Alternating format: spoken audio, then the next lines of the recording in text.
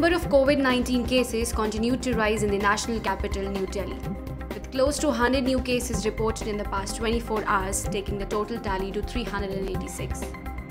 After a sudden spike in coronavirus positive cases in New Delhi, LNJP and GB Pant Hospital in the national capital will be converted into COVID 19 management center from Monday onwards.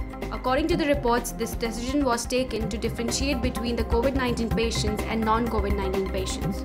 The conversion of two hospitals will combinedly provide treatment to the 2,000 patients at a time. Dr. J.C. Passi, Medical Director LNJP and GB Pant Hospital said, the entire LNJP and GB Pant Hospital will be converted to treat the coronavirus cases. We are working very hard to do it as soon as possible.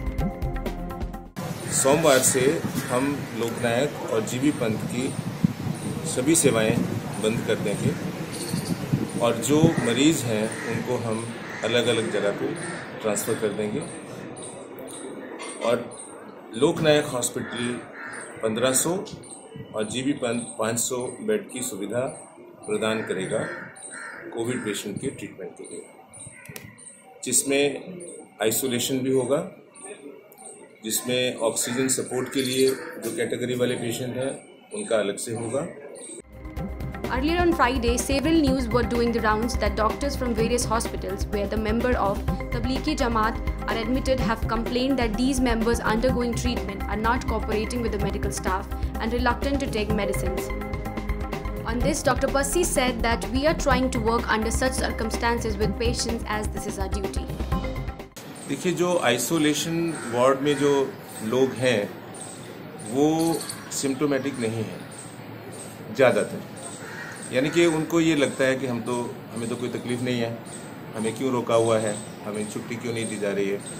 लेकिन जो protocol है, वो ये कहता है कि आपने जिनको सस्पेक्ट किया, उनकी रिपोर्ट जब तक नेगेटिव नहीं आती है, तब तक आपको उनको डिस्चार्ज नहीं कर सकते। तो उन लोगों को होल्ड करने में थोड़ा दिक्कत आ रही है। कभी कभी एग्रेसिव भी हो जाते हैं, कभी बिहेवियरल प्रॉब्लम भी आ रही हैं।